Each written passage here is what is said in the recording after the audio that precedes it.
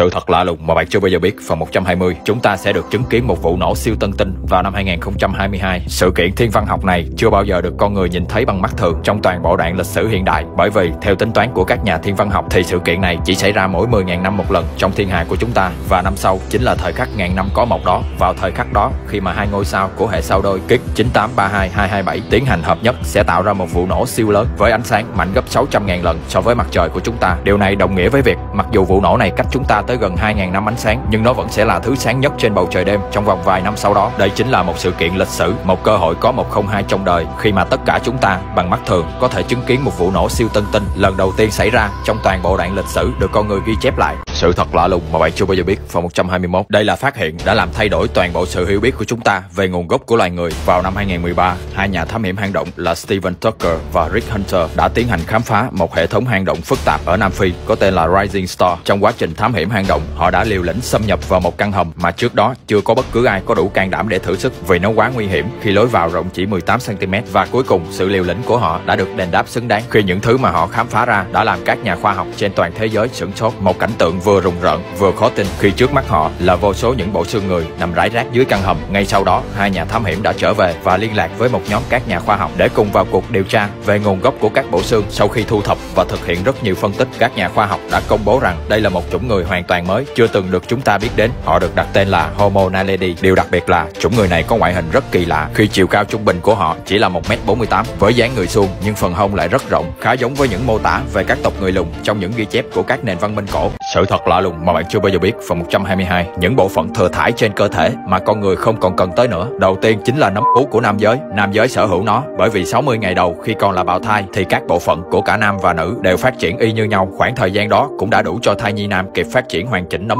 Vì vậy, bộ phận này vẫn được giữ lại vĩnh viễn, mặc dù nó gần như vô dụng đối với nam giới. Tiếp theo là mí mắt thứ ba, đó chính là bộ phận trông giống như một lớp màng da nằm ở góc trong của mắt bạn. Chim và các loài bò sát vẫn còn sở hữu mí mắt thứ ba. Bộ phận này ngoài làm sạch mắt, còn đóng vai trò như một lớp cường lực bảo vệ cho mắt. Trong trường hợp khẩn cấp, tuy nhiên, quá trình tiến hóa đã gần như loại bỏ bộ phận này khỏi cơ thể, vì con người đã không còn nhu cầu sử dụng đến nó nữa. Cuối cùng là xương đuôi. Bộ phận này phát triển ở tuần thứ năm đến tuần thứ 8 khi chúng ta vẫn còn là bào thai, nhưng nó chỉ dừng lại ở một đoạn xương cục, chứ không hề phát triển dài thêm nữa. Đó là vì tổ tiên của chúng ta cần có đuôi để giữ thăng bằng khi còn sống trên cây. Tuy nhiên, khi bắt đầu chuyển xuống mặt đất để sinh sống, thì con người đã tập đi trên hai chân và dùng hai tay để cân bằng. Nên từ đó, chiếc đuôi đã trở nên vô dụng và tiêu biến dần theo thời gian sự thật lạ lùng mà bạn chưa bao giờ biết phần 123 Sự phát triển đáng báo động của trí tuệ nhân tạo AI Gần đây, một loại robot AI siêu nhỏ có tên là Xenobot được các nhà khoa học Mỹ chế tạo đã có thể tự sinh sản. Trước đó, robot AI được ghi nhận là đã có thể đọc được suy nghĩ và cảm xúc của con người. Một số khác thậm chí còn học được cách nói dối để qua mặt con người. Đáng sợ hơn nữa, hai người máy AI của Facebook còn thông minh đến mức chúng đã lén lút tạo ra một ngôn ngữ riêng để giao tiếp với nhau trong một cuộc thí nghiệm vào năm 2017 Theo dự đoán của tỷ phú thiên tài Elon Musk thì chỉ trong 5 năm tới AI sẽ bỏ xa con người về sự thông minh lẫn tốc độ tính toán. Dự đoán của ông càng đúng hơn khi giờ đây rất nhiều ứng dụng AI gần như đã có thể làm được điều đó. Nổi bật nhất là GoMath, một ứng dụng giải toán bằng công nghệ AI nó lợi hại đến mức bạn chỉ cần chụp lại bài toán cần giải là kết quả sẽ được show ra trong vòng chưa tới 3 giây. Đặc biệt là GoMath đã mới cho ra mắt phiên bản tiếng Việt. Sự thật lạ lùng mà bạn chưa bao giờ biết, phần 124 hai hiện tượng bí ẩn hơn cả hiện tượng deja vu. Đầu tiên là hiện tượng deja vu.